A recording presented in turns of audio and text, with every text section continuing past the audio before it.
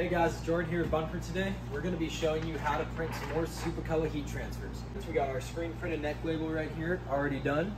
So that way we don't send our film through the conveyor dryer. Now, you're to grab your shirt, load it on your platen.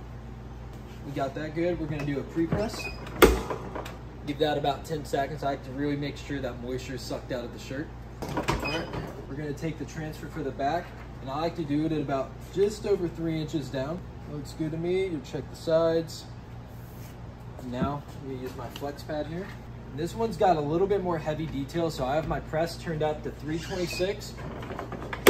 And the pressure is really tight. You can see the resistance a little bit when I push it down. And uh, my timer is at 25 seconds. So we're really gonna make sure these are pressed in and uh, make sure all that detail comes through. Now you wanna peel these SupaColor transfers nice and fast. See, we got a clean peel right there. Now we're gonna do our post press for about, I like to do it for about closer to 10 seconds, about eight seconds. Really make sure you got it printed and pressed into there. There we go. Nice and clean. Nice and even. Very colorful design, and they're only ordering 20 shirts, so any screen printers out there looking to get shirts made and you need a client who needs a lot of colors for a small quantity, SupaColor has been a great solution for us in our shop. So now, pull this up. For this, since I know that I pulled it probably a couple extra inches here, I'm gonna do a little bit over two inches more this way, and then I do mine about four inches down to three and a half.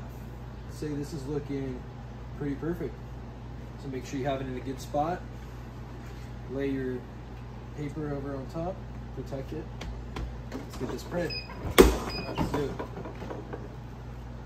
go. Nice and clean. See that design right here? And now we're gonna do our post press. Ooh, that films. All right. Here we go. See how that came out? All right, here we go. Left chest print, the full back color design. And with these SupaColors, you can kind of do a nice stretch test just to ensure that you know that that quality is there to stay, just like a screen print follow us and subscribe for more um, screen printing and print related content coming your way soon. Thanks for tuning in, guys.